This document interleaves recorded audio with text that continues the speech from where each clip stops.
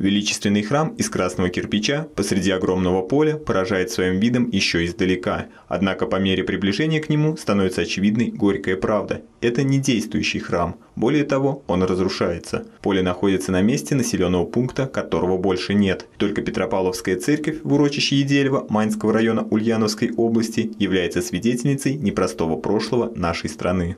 По благословению митрополита Симбирского и Новоспасского Лонгина, благочинный Майнского округа Симбирской епархии священник Арсений Розин и православные добровольцы заранее совершили трудовой выезд, чтобы подготовить храм к совершению в нем первой, почти за столетие, литургии. Круг храма был кустарник, все было обросшее, кустарник, трава высокая, бурьян а внутри храма. Также нужно было уборку делать. Дал клич нашим майнским людям с города, молодежь нашу православно пригласили. И, слава Богу, собралось больше 20 человек. Мы здесь э, сделали большой субботник в прошлую субботу. Ну, с Божьей помощью прибрались, траву выкосили, деревья кустарники спилили, внутри прибрались, кирпичи разложили, э, сделали, так сказать, минимальные условия для того, чтобы можно было совершить здесь богослужение.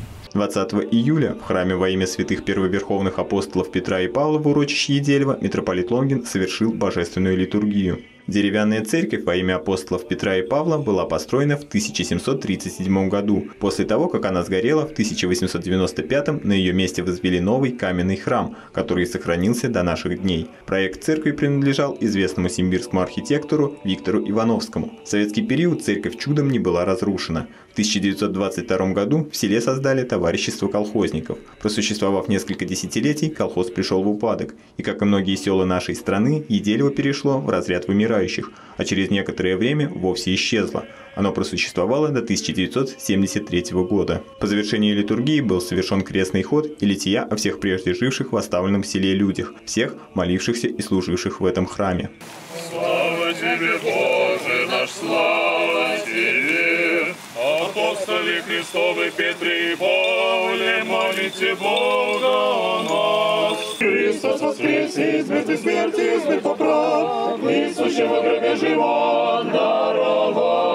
Митрополит Лонгин отметил, что храм в урочище Едельва сохранился до наших дней по промыслу Божьему, поэтому необходимо молиться о его восстановлении и приложить все возможные усилия для сохранения святыни. Раз храм выжил во всех перипетиях 20-го столетия, я верю, что это значит то, что он кому-то нужен и сейчас, и в последующем.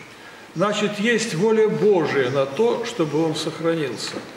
А мы, люди, должны эту волю Божию увидеть и постараться ее реализовать, постараться ее исполнить. Попробуем и с этим храмом что-то сделать. Может быть, у нас получится. Помолитесь, братья и сестры, чтобы Господь послал бы неравнодушных людей, в чем сердце загорится боль и скорбь о поруганных святынях нашего народа.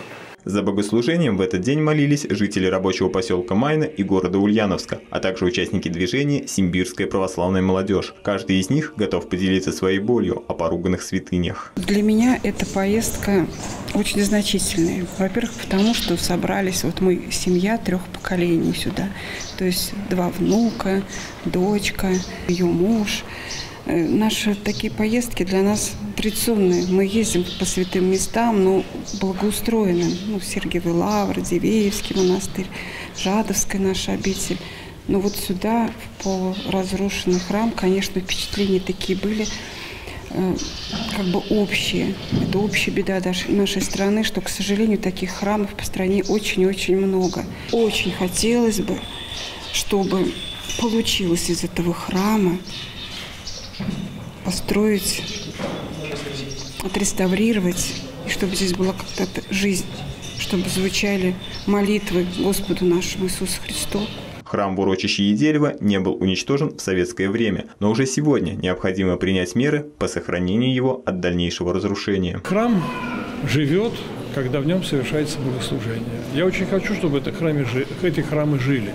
Поэтому мы служим время от времени в таких храмах. Я надеюсь, что в большинстве, если не во всех сохранившихся и руинированных на сегодняшний день храмах, мы сможем хотя бы однажды в году совершать божественную литургию. А, ну, а, конечно же, их надо восстановить. их надо восстановить, потому что э, в том, что они сохранились в очень сложных и страшных порой событиях 20-го столетия, э, говорит о том, что э, есть воля Божья на то, что эти храмы существовали. Они будут нужны людям и в дальнейшем. Вот. Э, сегодня мы заботимся о том, чтобы каким-то образом законсервировать их хотя бы в том виде, в каком они сейчас находятся. Вот. Э, там, где можно, и там, где находятся неравнодушные сердца, там мы приступаем к реставрации, к реставрационным работам. По завершении службы в Петропавловском храме «Урочище и дерево» все паломники из города и области получили в подарок иконы святых первоверховных апостолов Петра и Павла. Сергей Николаев, Юрий Конихин, Симбирская митрополия.